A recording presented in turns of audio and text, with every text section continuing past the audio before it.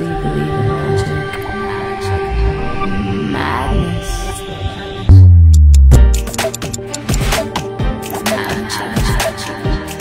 Magic is madness.